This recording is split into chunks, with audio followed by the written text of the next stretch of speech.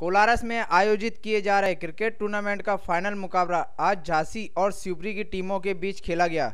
झांसी की टीम ने पहले बल्लेबाजी करते हुए एक सौ अड़तीस रनों का लक्ष्य शिवपुरी की टीम को दिया। लक्ष्य का पीछा करने उतरी शिवपुरी की टीम ने चार विकेट खोकर एक सौ उनतालीस रनों का लक्ष्य प्राप्त कर विजय प्राप्त की। आयोजकों द्वारा विजेता टीम को इक्यावन हज़ार रुपये का पुरस्कार दिया। वहीं उप विजेता टीम को इक्कीस हज़ार रुपये का पुरस्कार दिया। कोलारस से अमर काले की रिपोर्ट।